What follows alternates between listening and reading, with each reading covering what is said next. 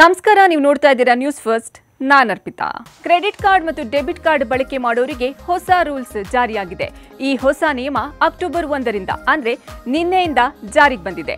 ಆನ್ಲೈನ್ನಲ್ಲಿ ಡೆಬಿಟ್ ಅಥವಾ ಕ್ರೆಡಿಟ್ ಕಾರ್ಡ್ಗಳ ಡೀಟೇಲ್ ಹಾಕೋದ್ರ ಬದಲಾಗಿ ಜಸ್ಟ್ ಕೋಡ್ ಹಾಕಿ ವ್ಯವಹಾರ ಮಾಡೋದೇ ಟೋಕನೈಸೇಷನ್. ಕಸ್ಟಮರ್ಸ್ ಸೇಫ್ ಆಗಿ ವ್ಯವಹಾರ ಮಾಡೋಕಂತಾನೆ ಈ ಹೊಸ ವ್ಯವಸ್ಥೆ ಜಾರಿಗೆ ತರಲಾಗಿದೆ. ಅಂದ್ರೆ ವ್ಯಾಪಾರಿಗಳಿಗೆ ಗ್ರಾಹಕರ ಕಂಪ್ಲೀಟ್ ಡೀಟೇಲ್ಸ್ ಸಿಗೋದಿಲ್ಲ. ಜನರ ಇನ್ಫಾರ್ಮೇಶನ್ ಸೇಫ್ ಆಗಿಡೋದೇ ಇದರ ಉದ್ದೇಶ. ಇದರಿಂದ ಮಾಹಿತಿ ಹೇಗೆ ರಕ್ಷಣೆ ಆಗುತ್ತೆ ಅನ್ನೋ ಪ್ರಶ್ನೆ ಸಾಮಾನ್ಯವಾಗಿ ಕಾಡುತ್ತೆ. ಆನ್ಲೈನ್ನಲ್ಲಿ ಪರ್ಚೇಸಿಂಗ್ ಅಥವಾ ದುಡ್ಡಿನ ಟ್ರಾನ್ಸಾಕ್ಷನ್ ನಡೆಸುವಾಗ ಡೆಬಿಟ್ ಅಥವಾ ಕ್ರೆಡಿಟ್ ಕಾರ್ಡ್ಗಳ ಮಾಹಿತಿ ಬದಲಾಗಿ ಕಂಪನಿಗಳಿಗೆ ಆಲ್ಟರ್ನೇಟ್ ಟೋಕನ್ ಕೋಡ್ ಕಾಣಿಸುತ್ತೆ. ಈ ಮೂಲಕ customers main details, account number, ಕಾರ್ಡ್ನ ಸಿಕ್ಸ್ಟೀನ್ ಡಿಜಿಟ್ ನಂಬರ್ ಮತ್ತೆ ಕಾರ್ಡ್ ಎಕ್ಸ್ಪೈರಿ ಡೇಟ್ ಯಾವುದು ಸೇವ್ ಆಗೋದಿಲ್ಲ.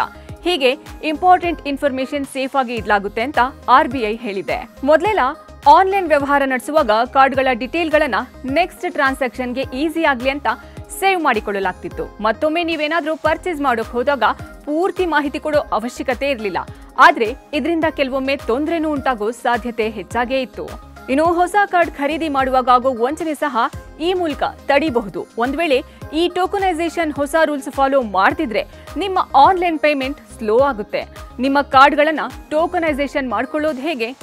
ಇ ಕಾಮರ್ಸ್ ಆನ್ಲೈನ್ ಸೇಲ್ ವೆಬ್ಸೈಟ್ಗಳಿಗೆ ಹೋಗಿ ಖರೀದಿ ಮಾಡಿ, ಚೆಕ್ಔಟ್ ಮಾಡುವಾಗ ಕಾರ್ಡ್ ಡೀಟೇಲ್ಸ್ ಕೇಳುತ್ತೆ. ಅದನ್ನ ಕೊಟ್ಮೇಲೆ ಸೆಕ್ಯೂರ್ ಯುವರ್ ಕಾರ್ಡ್ ಅಥವಾ save card as per R B I guidelines ಆಯ್ಕೆ ಮೇಲೆ ಕ್ಲಿಕ್ ಮಾಡಿ.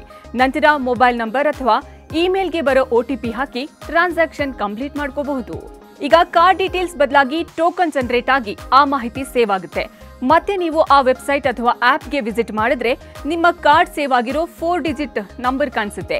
ಟೋಕನೈಸೇಷನ್ ಹೇಗೆ ಕೆಲಸ ಮಾಡುತ್ತೆ ಅಂತ ನೋಡೋದಾದ್ರೆ ಆನ್ಲೈನ್ ಶಾಪಿಂಗ್ ಶುರು ಮಾಡಿದ ತಕ್ಷಣ ವ್ಯಾಪಾರಿ ಟೋಕನೈಸೇಷನ್ ಪ್ರೋಸೆಸ್ಗೆ ಸಿಗ್ನಲ್ ಕೊಡ್ತಾನೆ. ನಿಮ್ಮ ಡೆಬಿಟ್ ಅಥವಾ ಕ್ರೆಡಿಟ್ ಕಾರ್ಡ್ ಟೋಕನೈಸೇಷನ್ ಮಾಡೋಕೆ ಪರ್ಮಿಷನ್ ಕೇಳ್ತಾನೆ.